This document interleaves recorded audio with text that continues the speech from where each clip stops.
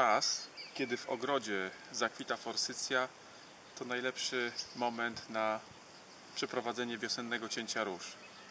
Pokażę, jak to zrobić na poszczególnych grupach róż.